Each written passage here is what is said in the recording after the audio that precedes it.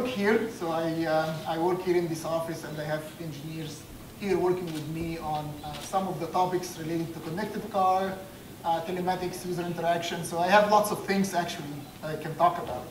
But I choose today one topic uh, since you are here in Silicon Valley. And if you're living here in Silicon Valley, actually like I do, uh, you will feel that there are lots of talks around us about artificial intelligence. And I wanted to tell you and share with you a little bit what we are doing with artificial intelligence. Um, but please feel free to ask me about other things too if you would be interested. So intelligence in automotive. Um, the topic, of course, of intelligence and artificial intelligence is talked about uh, a lot in the news. Uh, there are movies about it here, and um, Ex Machina and others. There are tons and tons of movies about artificial intelligence coming and coming still, still in the future will come more. Um, and I wanted just to be maybe a little bit more concrete about what we're doing. So I will tell you what we're thinking about. There is something that um, the system in the car can interact with users. So we call this contextual user experience. Um, there are um, other cases when the system in the car actually interact with the environment, and we, we, we call this autonomous driving or automated driving. And then uh, when the system and the car interact with business around us, like the sales and finance and other things like that, then this is the big data topic. So these are the areas that we're focusing on. These are the areas where we use machine learning um, in the car. So what I wanted to focus on today is the contextual user experience. That's what I want to share with you a little bit. Um, so what is contextual user experience? So maybe we can define it first. So the idea there is that you can use some of the artificial intelligence technologies like machine learning, for example, to kind of um, understand what the user is doing and try to simplify the actions uh, for the user. And then after some time, you build the trust between the machine and the user. The machine in this case will be the car. And then try to, from that point forward, to become more of a companion to the. So um, this is what we're doing. This is not science fiction or anything. This is what we are actually doing today. So let's talk a little bit about what machine learning means, just um, a definition of machine learning. In the old days, what we do is computer programming. What I studied at college is that, yes, you have some input, you have some, um, some data that you want to put in there, you create the computer, you sit down, write the code, and that computer program will give you some output. And that is, that is the traditional programming. You write code to get input and give you output. Machine learning is a little bit different. You watch certain phenomena, you have some input data, you watch the output, um, and then from there, you get the computer to find the pattern, to find the program, to create for you the intelligence. You don't create it yourself, you make the computer create that. So that's the machine learning. Um, and that is much more suitable for things that are happening in the natural world because it's very hard to find a concrete relationship between things. Then you can just let the computer do that for you and create the patterns. So why is that popular? Why we're hearing about artificial intelligence and machine learning every day in the news? Um, because we have lots of data, like the E-Class that you have actually has hundreds of sensors today. All of this data is available for you, and all of these data just in one car is available for you, and multiple cars available. Um, and with this huge amount of data, you can actually start understanding the patterns. Um, computer speed, power, uh, processing power. Uh, if you look at the car today, there are lots of processing units in the car. There is, of course, the head unit in front of you. There is one other unit that handles the driver assistance system. There is other units that handles all the sensors. There are lots and lots of processing power and computer power in the car. And, and just in the car, you can actually crunch all of these data and provide some patterns. So the computer is getting much, much faster and much, much more powerful that will enable us to actually create these patterns. And of course, the machine learning and artificial intelligence is not a new topic. It's been around for probably like 50 years now. Um, but within these 50 years, so many smart people actually came up with algorithms and ways to create this artificial intelligence um, that made it actually possible for everyone who's working in this field to, to actually tackle some problems in the real world. So now let's talk about what we actually do there in automotive. So how do we use this in automotive?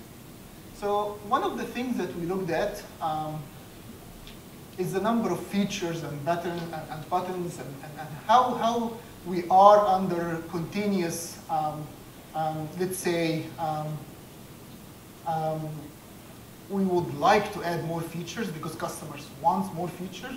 Um, if you go to one of the maybe classic car shows and see how the head unit, what we call head unit or radio, looks like on those cars, and the old good, good old days maybe, um, you had maybe AM, FM, four buttons to select channels or stations, and that's pretty much what you had. So you actually had only eight choices. You sit in the car and you want to listen to music, you had eight choices. Eight exact choices for how you can get your music in the car. Um, if you look at it today, uh, in the E-Class, you have AM, you have FM, you have HD radio, you have satellite radio, and uh, you have maybe you have iHeart radio, uh, you have, have actually internet radio, you have I would say thousands and thousands of choices just to listen to music, just for this function. So how do we actually offer a user interface uh, for customers that will make it easy to find what you want among those hundreds and hundreds of choices?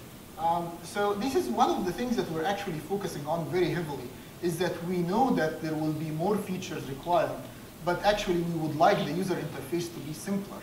So that's how we use machine learning. We use machine learning to really really understand the patterns, really understand what the user um, is going is doing in the car, is going to be doing in the car, and from there simplify the user interaction for that user.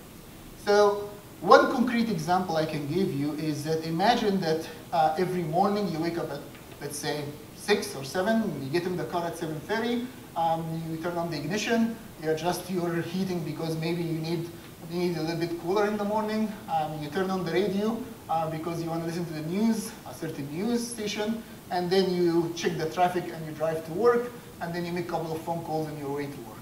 If you're doing this every Monday, like that's your pattern every Monday, then after a few Mondays, the car should know that. The car actually can understand that, should know that. The next time you get in the car, the car is for you, ready, with the right temperature, um, the right station that you, that you always listen to, um, the exact um, traffic for your exact route that you're taking every day. Uh, so all of these things that you have to do every day, after some time the car will learn that, will create the pattern, will understand this. Now, if it is not Monday, if it is Sunday, then you probably have a different pattern, and the car can understand that too. So car is smart enough to understand all of these different variations. Now, if your kid comes in the car, or if your wife comes in the car, or your husband comes in the car, then it's a different pattern, it's a different profile. And that's how it is. So the car is actually start to become very, very much personalized to your liking and your needs. And you always have the option to choose something else. You always have the option to turn this feature off. But if you like it, that's how it is. Um, so that is one huge area we're actually looking at, is that how do we simplify the user experience and make it a little bit more intelligent and a little bit more delightful for the user by having a lot of machine learning in the background. The second thing is that imagine that you have that already, and you have the car that really understands you 100%. You have your profile in this, the car knows everything about you and understand what you like and what you don't like. Um, how do you like your temperature in the morning, the, the real, uh, well, the actual um, maybe news station that you listen to, um, the traffic, the actual route that you take every day. And then you go and take another car. Um, you probably upgrade from the C class to the S class or, uh, or maybe you just go to another, car, another place, another state, and you rent another car, or you share car with somebody else. Wouldn't be nice if that profile that was created for you, your personal profile can follow you from one car to the other? So that's another area we're looking at, because we look at people actually don't use just one car today, they use multiple cars in different scenarios. But one thing that they always do is that your habits will not change. So how we, how we can make it easier for you to you take that, that profile with you from one car to the other, and the experience can actually follow you. Uh, that is all done, of course, with your permission as a user. So as a user, you have control over all, all over this one, and you can decide to take that with you or not. So uh, maybe I'll give you some one, one example that's public today, um, that already we already released, uh, uh, already released in the market, which is uh, what we call companion app. So companion app um, some of you might have heard about it, but the idea of navigation, we just took one use case about navigation. Um, all of you, after, after you said you finished the session here, probably know exactly where you're going. Uh, but in reality, what happens is that you wait until you get in the car and you start fumbling with the buttons to input the destination in the car. And uh, the, we thought about the, the navigation experience as something actually you can do without sitting in the car. You can do before even you get in the car. If you know where you're going, why can't you just tell your watch or phone, I want to go there. So if you're going to Hyatt Hotel after this one, you can just tell it, take me to Hyatt Hotel. And then the watch itself will give you walking direction. We did it with the Apple Watch, showing project with Apple, so we did this with Apple Watch's product. It's actually available in the market today. You can get that one. Um, so it gives you walking direction to your car, so that's the first step. Um, so you interacted once with the watch, but then you walk, you give you walking direction to your car, you get in your car, and then, and then after that you don't do anything in the car. The destination that you choose is already on your navigation system in the car. The car gives you driving direction after that, using the big screen, the navigation system that's embedded in the car. Um, then you park somewhere uh, in the near Hyatt Hotel, and then you get out of the car, and then the walking direction to the entrance of that hotel actually comes again on the watch. Um, so this is, we call it the door-to-door -door experience, the overall experience of navigation. Um, so we did this with the Apple Watch, and we're working to cover other wearables too. Um, but the idea is that for one simple use case, we wanted to provide this kind of convenience, um, that you don't sit in the car and start thinking about how you input the destination in the car. Um, one thing that's important for us in this whole thing is that you just interact once. You don't have to put multiple, the destination multiple times. And then the system will just understand what you want to do. In the first leg, the, you, what you want to do is actually to find your car. And then after that, you want to find the parking lot. And then after that, you want to find the final door to your final destination. And the system will have to understand all of that without you telling the system that. So this is an app. You download it today. It's an app available on uh, iTunes. Uh, it's called MBO Companion app, and it, it works uh, with the C class and, and the S class. Um, but what we decided is, after some time of using this, um, why can't the system actually know where you're going without you telling it? Um, well, many of you, or some of you, might actually have that Hyatt Hotel uh, plan in your calendar, for example. Um, or maybe if in the normal days, you every Sunday you're going and playing golf, for example. That's your habit every, every Sunday.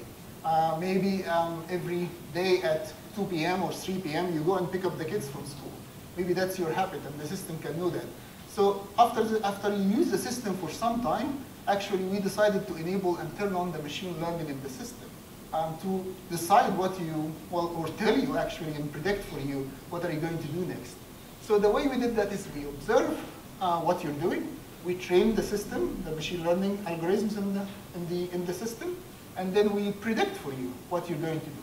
So um, you drive to a certain destination, we look at all the contextual information associated with that. Where did you start? What time of the day? Was it which day of the week? What was the temperature, for example? What is the location? Where did you go to?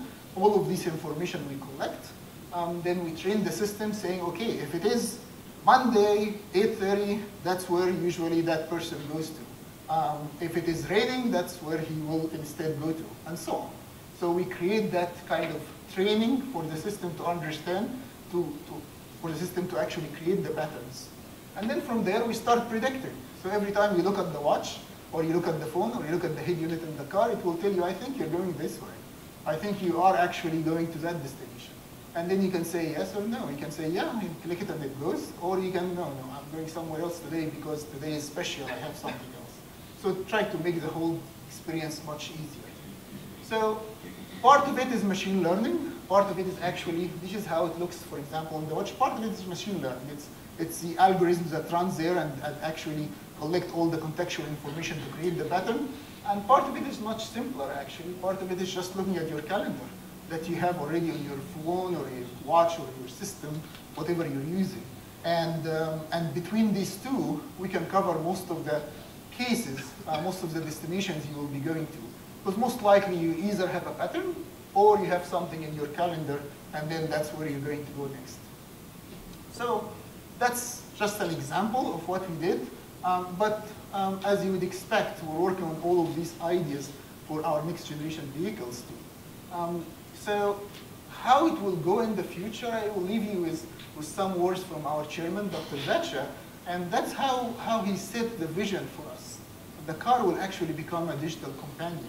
It will understand more and more about you, and it will not wait for you to interact with it. It will interact with you. So this is where we're going with this. And this is how intelligence actually will end up in our cars, and you will be able to use it in the future. So.